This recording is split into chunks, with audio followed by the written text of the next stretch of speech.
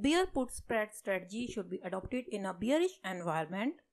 In our last lecture, I was analyzing a stock that was Yelp Incorporation and the stock was moving in a bearish channel and we were here. I suggested to make an entry in bear put spread when stock will touch this resistance line of this channel. But in this stock, it was not a situation to adopt this strategy because prices are above 50 level.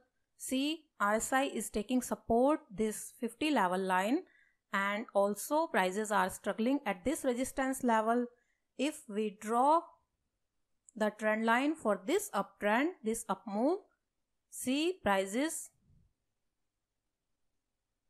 are above this trend line. So it was not a situation to adopt that spread and now prices are crossing down this trend line so I'm expecting a down move in the stock but as prices are above this channel so we should not adopt this strategy.